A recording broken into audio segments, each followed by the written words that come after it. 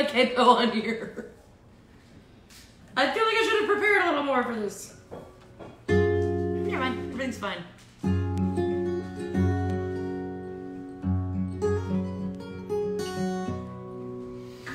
Hey guys, happy release day for Nicolette Hayford. Her Pillbox Patty EP came out today, and it looks like um, they're having a little trouble getting it on iTunes, but I think they're working on that. I mean, today is 420. This could have happened to anyone.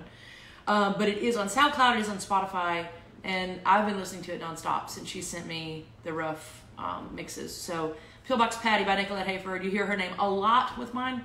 We write a lot of songs together. Um, I had some requests, and two of them were for uh, songs from the Elsebound record.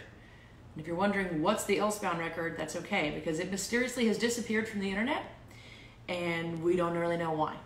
Um, and, and who knows where the box of uh, there's like a box of like 250 hard copies somewhere. Who knows? Who knows where that is? But um, so yeah, I was thinking um, that I would do some of those today, and so all the songs that I'm gonna do, or maybe not all of them, but several of the songs I'm gonna do today.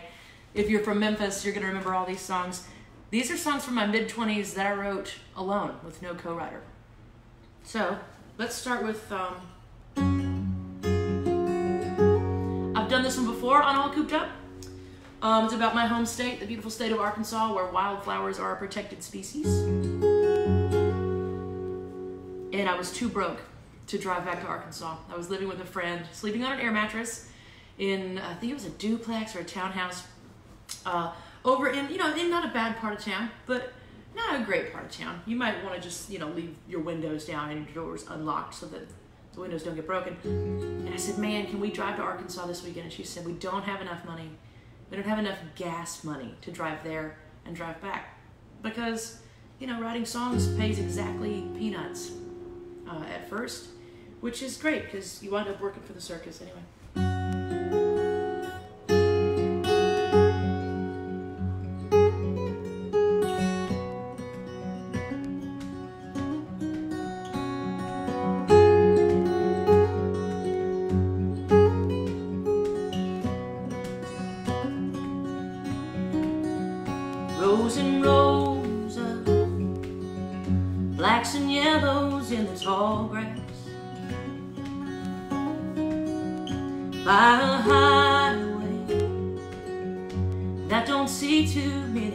Cars pass. The hills roll gently down by the church that saved my soul. Just a mile from the only home I've ever known.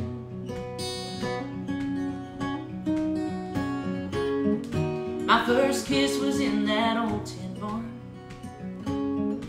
That old helped me break my arm. I can't remember if I cried at all. I miss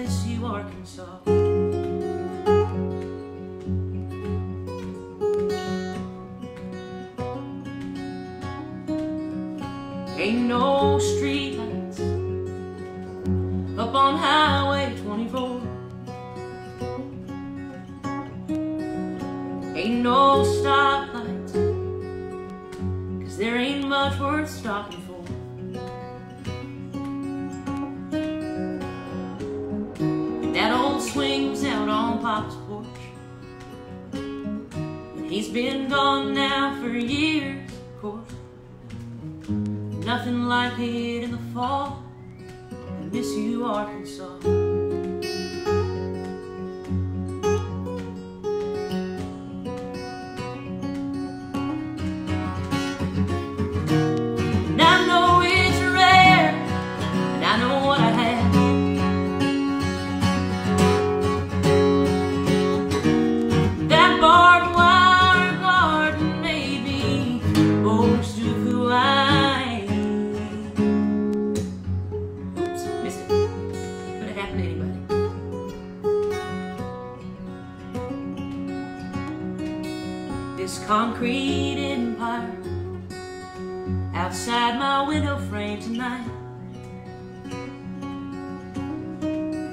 Kindled a bonfire like an Ozark mountain campsite.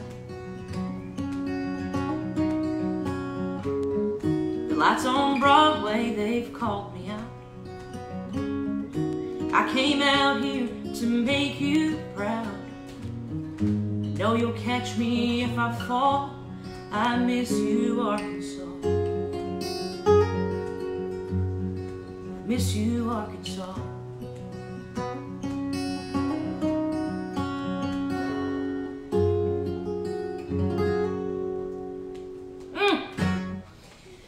Know my eyesight, I can't really see the comments, but I do see hearts, and that makes me happy. Today's drink of choice is water from the refrigerator with ice from the refrigerator and a little bit of fruit punch Mio. Mm.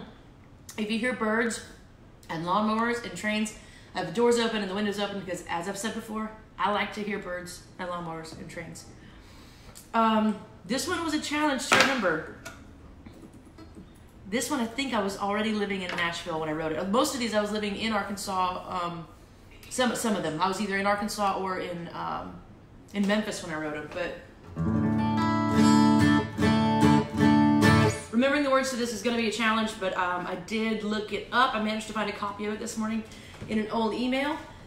I wrote this song standing in the basement. I lived in this. Um, this is going to sound fancy, and I guess it was at the time. I was living in this loft apartment in downtown Nashville. And I was down in the basement because in the basement was where the trash compactor was.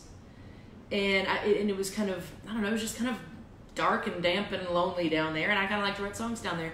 And I did. I wrote this song down there. And then one day, the homeless man that I did not realize it was sleeping under a mattress in that basement, I didn't realize he was there. And he woke up one day and scared me to death. So I stopped writing down there. Also, I didn't want to invade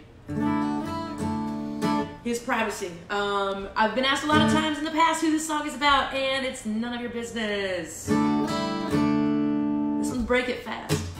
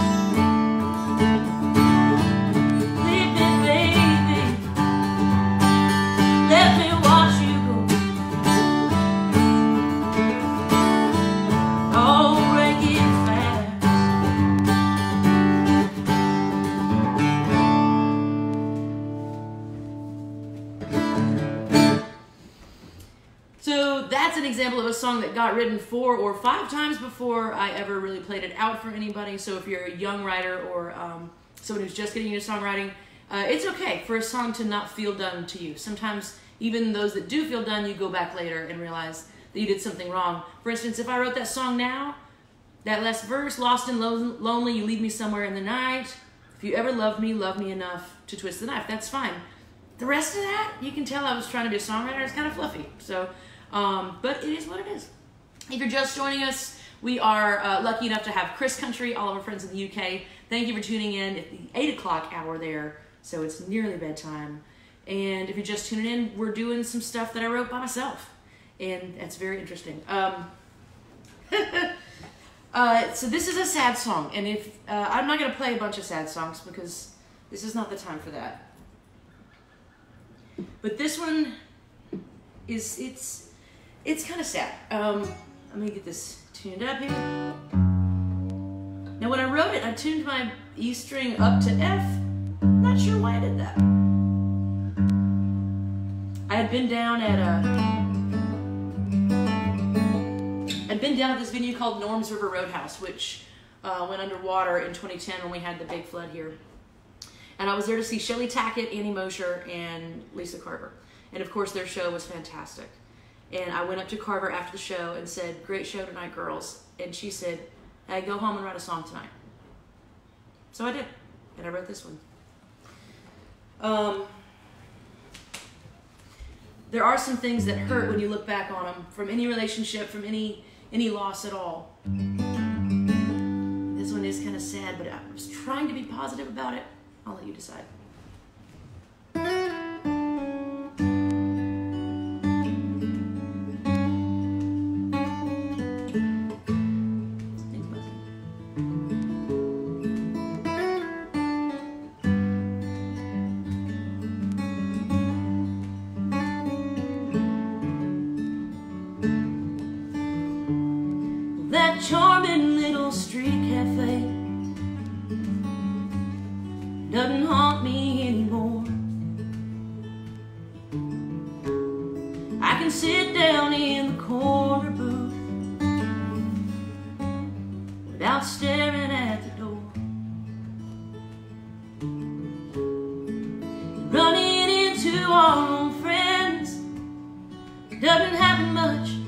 It's nice when I do.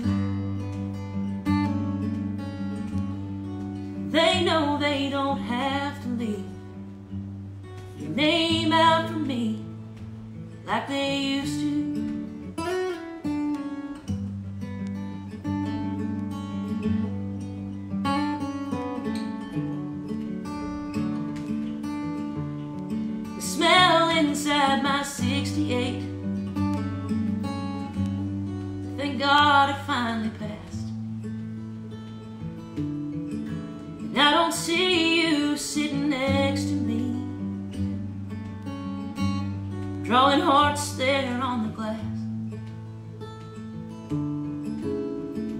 I've got so much going on, I hardly find the time to do what I need to do. I finally put those memories all to bed, and that having been said, there's still a few. There's a few mornings when I know that the bitter winter cold has got you wishing your old bones weren't so used. An old song can take me back. Honey, I can't help but laugh at how we danced to Born to Run in the living room. I've spent a lot of time erasing your life from mine. And in the end, that was the best thing I could do. It don't mean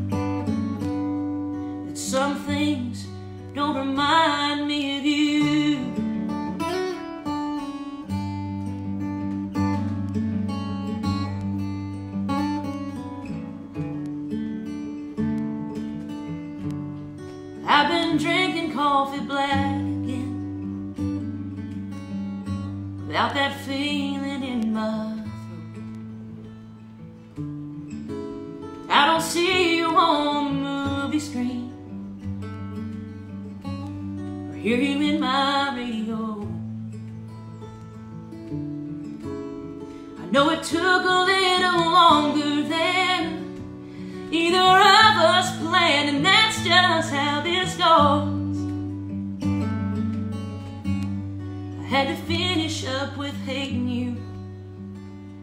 And now that I'm through, what do you know? There's a few mornings when I know that the bitter winter cold has got you wishing your old bones weren't so used. An old song will take me back. Honey, I can't help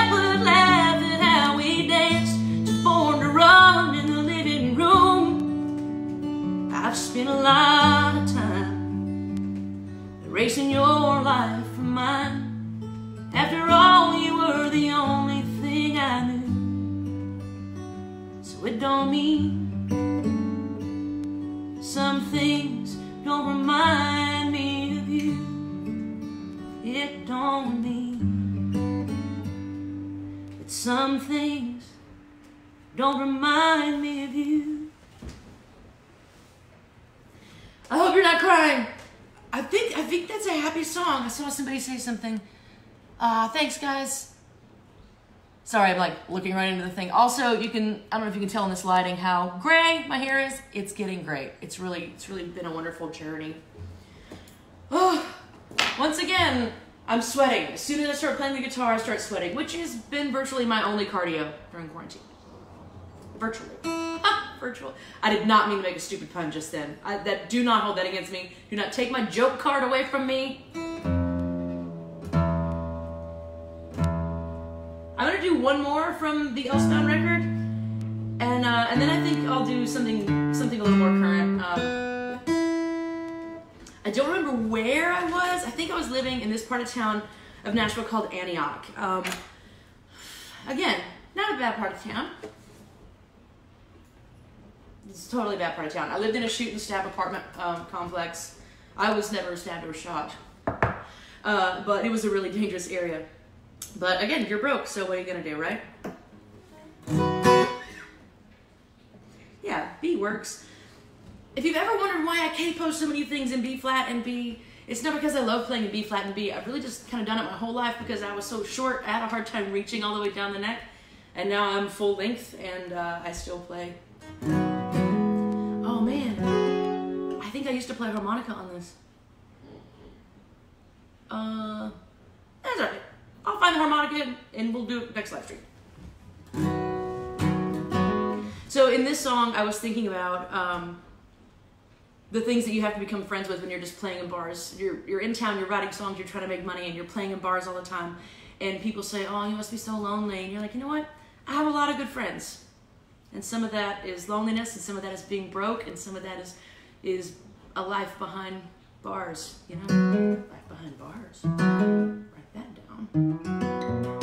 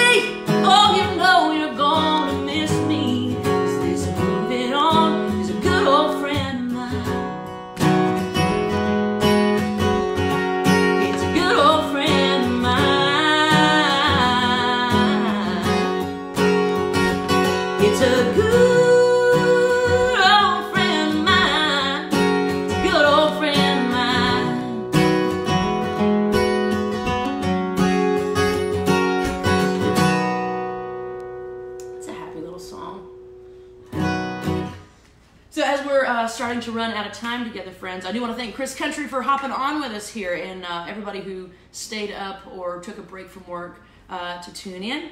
Let's see, what song am I going to do? Mm. Um, I remember seeing this, I think it was on Twitter today.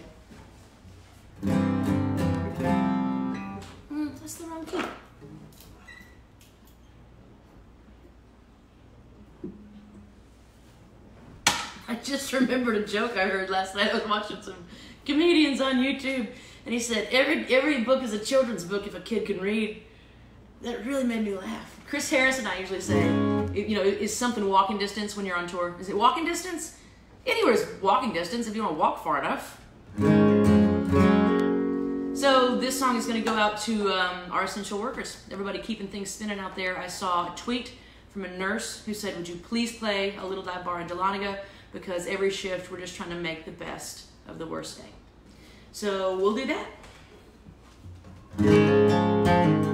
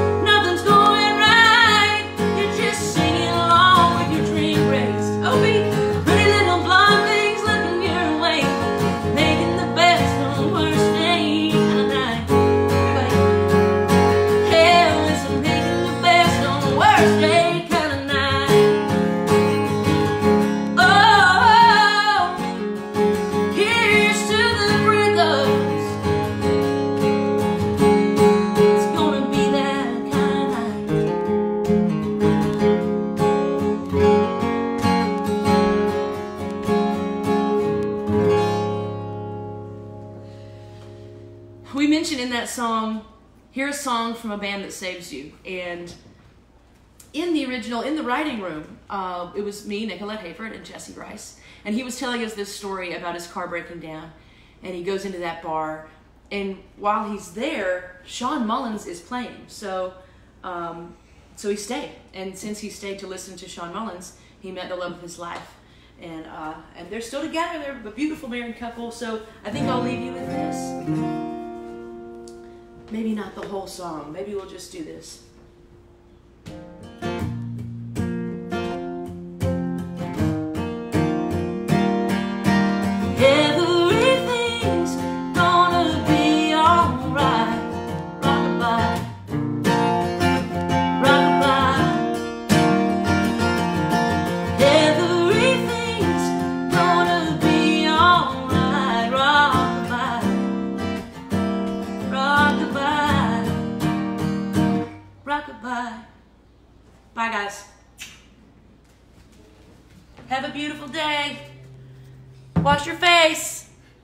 Your hands. It never hits stop. Then I then I just talk for a while at the end of it.